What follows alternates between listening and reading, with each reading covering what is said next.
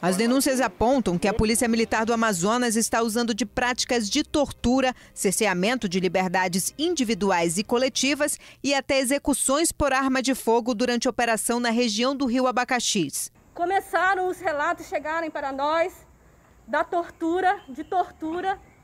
O líder da, da, da, da associação foi torturado por mais de uma hora. E os relatos é que envolveram as pessoas os comandantes, comandantes da PM que foram para lá. Isso não é, não somos nós que estamos dizendo, são os relatos que estão chegando, chegaram para nós. Segundo a carta emitida pelas entidades, a operação começou por motivos particulares, depois que no dia 24 de julho, um grupo de pessoas estava numa lancha de turismo praticando pesca esportiva sem a devida licença ambiental. Entre essas pessoas estava o ex-secretário executivo do Fundo de Promoção Social do governo do Amazonas, Saulo Moisés Rezende Costa, exonerado no último dia 10 e que teria sido ferido com um tiro no braço.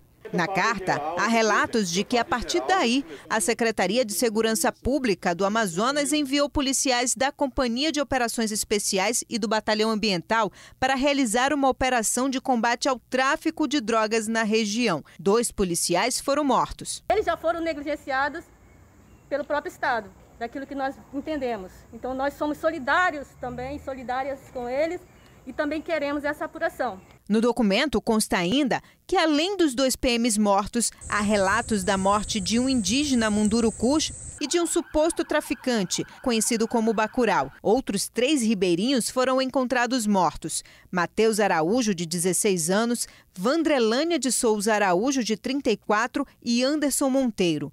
Dois adolescentes e uma indígena munduruku estão desaparecidos e seis pessoas foram feridas. Segundo a Secretaria de Segurança Pública do Estado do Amazonas, apenas três mortes estão confirmadas: dois policiais militares e um suposto traficante.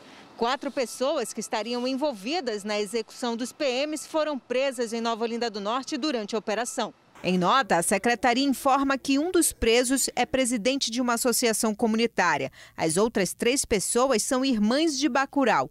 Todos foram presos em cumprimento de mandado judicial. Para as instituições representativas dos coletivos, movimentos sociais e associações comunitárias, toda ação policial deve ser rigorosamente apurada. Eles fazem ainda outras exigências, entre elas que a Polícia Militar seja retirada da região e que o secretário de Segurança Pública, o comandante-geral da Polícia Militar, o corregedor-geral e os delegados presentes na operação sejam afastados dos seus respectivos cargos.